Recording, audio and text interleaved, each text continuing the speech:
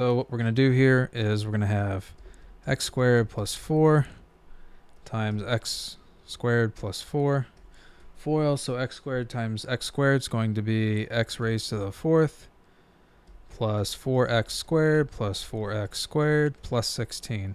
So we'll end up here, combine like terms, we'll end up with x raised to the fourth plus um, 8x squared plus 16. And that's it.